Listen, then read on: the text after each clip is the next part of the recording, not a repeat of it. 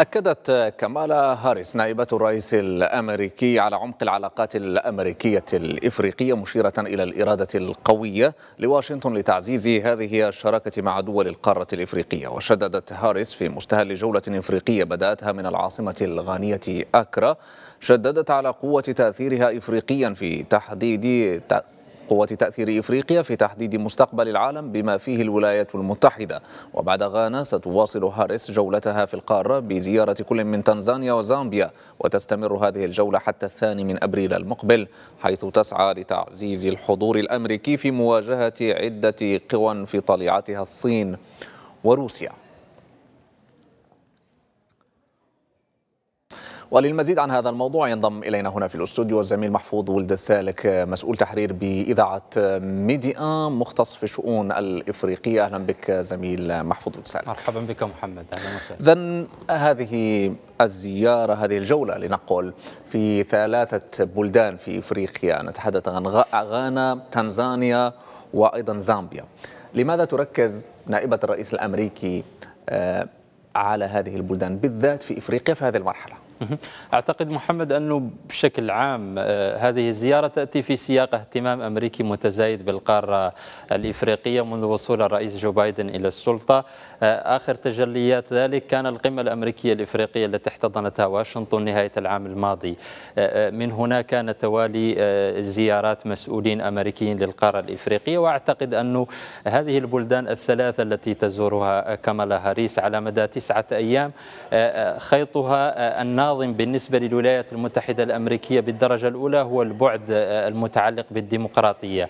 فالرئيس الغاني الحالي نانا أكوفو أدو انتخب لولاية ثانية عام 2020 تستمر أربع سنوات. ينص عليها الدستور غانا شهدت تناوبا ديمقراطيا على السلطة في مناسبات عدة. هذا يهم الولايات المتحدة الأمريكية وتركز عليه بشكل رئيسي جدا. تنزانيا سامية حسن صلوحي الآن تعتبر المرأة الوحيدة التي التي تتولى رئاسة بلد إفريقي بعد وفاة الرئيس التنزاني جون ماغوفولي. بالنسبة لزامبيا أيضا الرئيس الحالي هو يعني زعيم معارضة سابق وصل للسلطة أيضا عام 2021 بفارق أكثر من مليون صوت عن أبرز منافسيه. بالتالي هذه الأبعاد الثلاثة المتعلقة بالتناوب الديمقراطي على السلطة يعني تعزيز الحريات تعزيز الديمقراطية هو الخيط الناظم بين بلد في غرب القارة وبلدين في شرقها.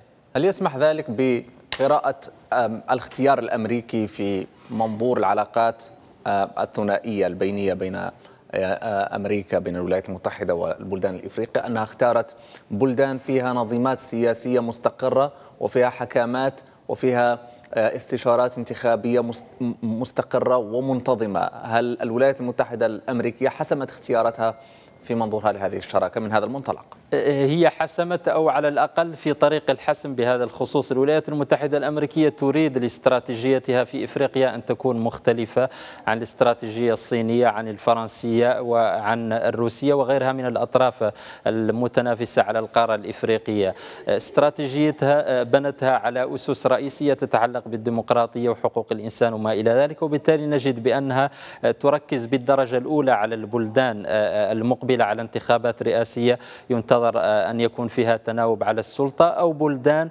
يعني تعتبر نموذج في التناوب الديمقراطي على السلطة. كما هو الحال بالنسبة لغانا في غرب إفريقيا من ضمن الدول التي تعتبر استثناء في التناوب الديمقراطي على السلطة. نفس الشيء أيضا في تنزانيا في زامبيا. التجربة الآن مع الرئيس الجديد نفس الأمر. طيب ما دلالة هذا التوالي في الزيارات؟ لأنه في الواقع لا يمضي أسبوع واحد دون أن تجد مسؤول أمريكي من الإدارة الأمريكية يتجول في عدد من بلدان القارة الإفريقية وهذا الأمر لم يكن مألوفا في سابق الإدارات الأمريكية ما دلالة ذلك هل من الرسالة؟ الرسالة الأبرز هو أن الولايات المتحدة الأمريكية تسابق الزمن من أجل يعني تعزيز الحضور بعد فترة فتور طويلة نسبيا من هناك إدراك يعني أنها متأخرة؟ نعم يعني الآن تريد أن تبرز أن إفريقيا حاضرة على الأجندة الأمريكية بدرجة كبيرة جدا عكس الفترات السابقة وبالتالي تسعى إلى تعزيز الحضور من جهة وإلى منافسة باقي الشركاء خصوصا الصين وروسيا في الولايات في القارة الإفريقية. بالتالي يتم توالي هذه الزيارات. وقد شهدنا قبل زيارة كمالا هاريس الآن كيف أن أنتوني بلينكن زار أثيوبيا والنيجر زار عديد الدول الإفريقية قبل ذلك. قبله أيضا كانت هناك السيدة الأمريكية الأولى التي زارت تنزان زارت كينيا وزارت ناميبيا. قبل ذلك أيضا وزيرة الخزانة الأمريكية زارت السنغال زارت جنوب إفريقيا زامبيا. بالتالي حتى أنه جو بايدن مرتقب أن يزور القارة الإفريقية لاحقا. بالتالي كل هذا تريد الولايات المتحدة الأمريكية منه أن تؤكد على أنه خيارها الاستراتيجي للقارة الإفريقية ماضية فيه وبأنها ستنافس لكن بناء على يعني رؤية ومعايير مختلفة عن باقي الأطراف الأخرى. أصبح معروفا أن الفضاء الإفريقي هو مجال تنافس لقوى أساسية في العالم. نتحدث عن الصين عن روسيا كما ذكرت أنت. أيضا تركيا وعدد من الدول الأخرى والولايات المتحدة الأمريكية أيضا. هل نفهم الآن توزيع النفوذ بين هذه القوى فيما يتصل بالتنافس على الشراكة مع البلدان الإفريقية؟ ليس هناك توزيع بقدر ما هناك تنافس من أجل أن يكسب كل طرف يعني أكبر عدد ممكن من الدول الإفريقية إلى جانبه. لأنه لا نعرف يعني نعرف بأن القارة الإفريقية هي قارة المستقبل كما يقولون. يعني سوق كبيرة جدا بالمعطى حتى الاقتصادي أكثر من مليار نسمة أكثر من نسبة 30% من معادن صحيح. العالم توجد في إفريقيا. لكن هناك من يركز عذرا عن المقاطعة هناك من يركز على الديون. مثلا. هناك من يركز على العلاقات الأمنية والعسكرية في عدد من الدول التي فيها حكمات سي... حكمات سياسية هشة. الولايات المتحدة الأمريكية كيف يتبلور منظورها واختياراتها في هذا الباب؟ الولايات المتحدة الأمريكية تقوم رؤيتها تجاه القارة الإفريقية على المعطيات المتعلقة بالديمقراطية بتعزيز الحكامة بالحريات بالشفافية بمحاربة الفساد وما إلى ذلك. لكنها تركز أيضا لأنه هذا جانب فقط من الرؤية. الجانب الآخر القائم على المصالح الاستراتيجية والاقتصادية والتجارية لأنه الولايات المتحدة الأمريكية تحصل على نسبة من غازها من خليج غينيا.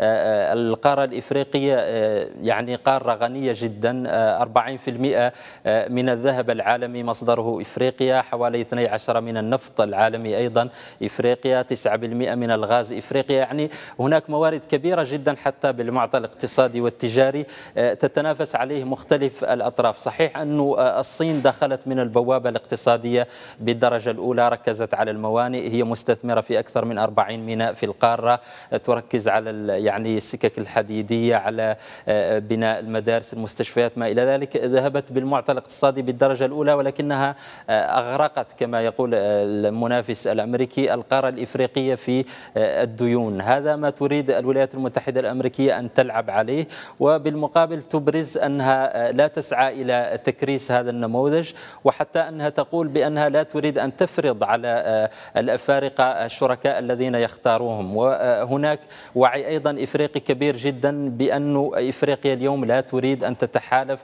مع الشريك بحد ذاته وإنما تقوم يعني رؤيتها وعلاقاتها مع تعدد الشركاء. ولذلك لاحظنا محمد في غانا أنه قبل فت قبل أيام قليلة من زيارة كامالا هاريس كان هناك وزير المالية الغاني زار الصين وأجرى مباحثات بشأن يعني إعادة هيكلة الديون. وأكد الرئيس الغاني نانا أكفو أدو في مباحثاته مع كامالا هاريس أن الولايات غانا لديها علاقات جيدة وستبقى مع الصين. ولكن أيضا لديها مع الولايات المتحدة. هل تقبل الولايات المتحدة الأمريكية في شراكاتها مع الدول الإفريقية؟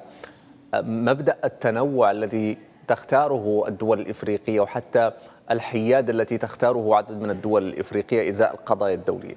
لن تسعى لن تسعى بطبيعة الحال إلى ذلك ولكنها تريد أن تبرز من خلال رؤيتها الجديدة تجاه القارة الإفريقية أنها مختلفة وبأنها تريد كما تركز على ذلك الإسهام في بناء المستقبل الإفريقي مع الأفارقة ولا تريد أن تكرر نماذج سابقة صينية وفرنسيه أو روسية وما إلى ذلك إن نجحت في تحقيق ذلك ويعني كان يعني نموذجها مثالا مختلفا أعتقد أنها ببساطة قد يعني يكون لها حضور قوي جدا ولكن لا فارق بالدرجة الأولى. انطلاقا من عديد التجارب باتوا يميلون إلى أنه يعني الشراكات تكون متعددة ولا يكون هناك حليف وحيد. فقط وبأنهم نقطة قوة أيضا في المستقبل بالنسبة لمختلف الأطراف الدولية. شكرا جزيلا لك الزميل محفوظ ولد سالك صحفي ومسؤول تحرير بإذاعة ميديا مهتم بالشؤون الإفريقية. شكرا جزيلا لك على كل هذه التوضيحات. ونعود مشاهدينا الكرام لزميلة لينا علوش وبقية مواد نشرة الأخبار.